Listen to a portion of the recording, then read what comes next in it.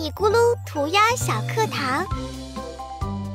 妈妈，咕噜咕噜，萌萌，大家好，跟着艾米咕噜一起涂鸦吧。这次我们要画的是酷爱跳舞的花裤子国王，不过这次我们画的是花裤子国王的头部特写哦。好啦，让我们开始吧。先画两个圆作为国王的眼珠。在外面画上圆圈作为眼睛，每个眼睛上面点上几笔，就是国王的眉毛。然后在眼睛下面画上一个椭圆作为小鼻子，从小鼻子出发画上两撇胡子，然后用一个扁扁的圆把国王的五官围起来。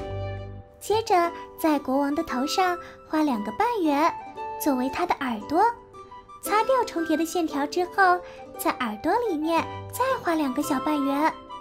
跟着我们用线条补上国王的鼻梁和头带，在头顶画上一顶王冠。擦掉重叠的线条之后，在王冠中间画上一个宝石，最后在下面画上一圈波浪线条，作为国王的领子。画完之后，我们就可以开始上色啦。先把国王的眼睛涂上白色，胡子涂上米黄色，他的领子是淡蓝色的，头带和宝石是淡绿色的，王冠是闪闪发光的黄色，耳朵里面和过往的鼻梁涂上咖啡色，鼻子和脸都是棕色，但是鼻子的颜色要浅一些。上完色之后，我们就大功告成啦。